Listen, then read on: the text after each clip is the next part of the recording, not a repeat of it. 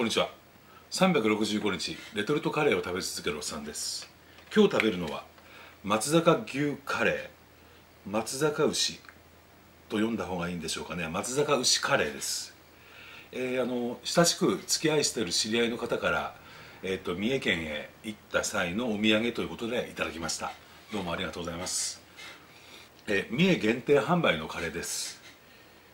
三重第一産のレトルトカレーです、えー、ブランド牛のカレーっていうのはこのシリーズ今まで実のところ特にカレーソースの味わいについて物足りないものが多かったんですがこのカレーにはあのちょっと期待してみて食べてみたいと思います。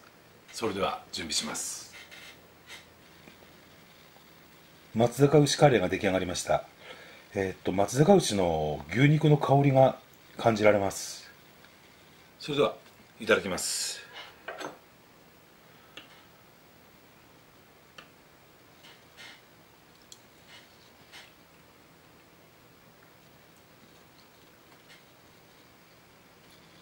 えー、大きめの牛肉が入っています。その他具材も結構たくさん入ってますね。玉ねぎ人参じゃがいも。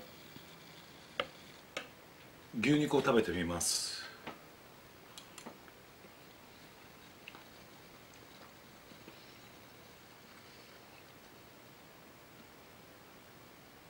食感はあのとても柔らかくてほどけるという感じなんですが味の方はやはりカレーにまみれてるんでその細かな味わいはちょっと分かりにくいです。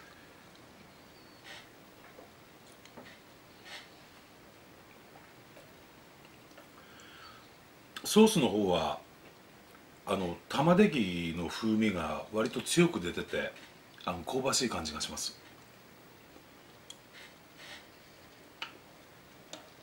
えーと、辛さの表示は特にないんですけどやや甘めな感じがして通常のカレーでいうと中辛程度でしょうか。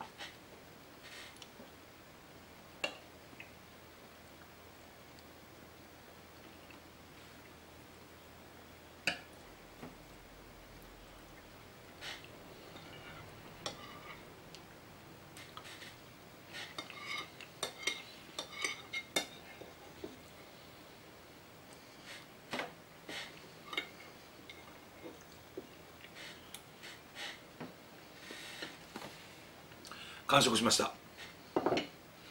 ごちそうさまでした、えー、今回あのお土産ということでもらったんでえー、っと本当はいい評価のコメントをしたかったんですけど正直言いましてえー、っと味わい的にはやっぱり物足りないです。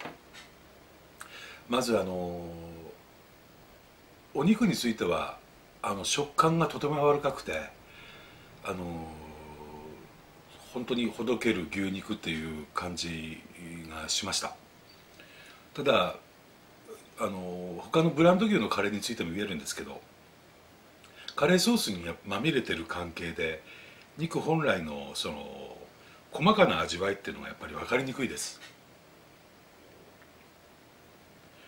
まあ、ということで評価するにあたってはやはりカレーソースの味わいっていうのが重要になるんですけどそうですね。あのブランド牛松坂牛っていうもののイメージ的にもソースに、えー、もっとコク深さがあった方があの美味しくいただけるんじゃないかなと、えー、生意気ですがあのそういうふうに思いました。いずれにしましてもあのお土産どうもありがとうございました。はい。それではまた明日お会いしましょう。さようなら。現在のランキングをどうぞ。